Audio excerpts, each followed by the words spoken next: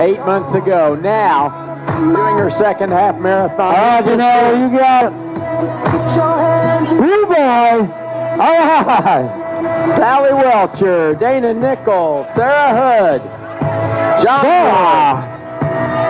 Marla Lightburn, Carrie Helmick, Tina Mehta. Congratulations out of Little Rock.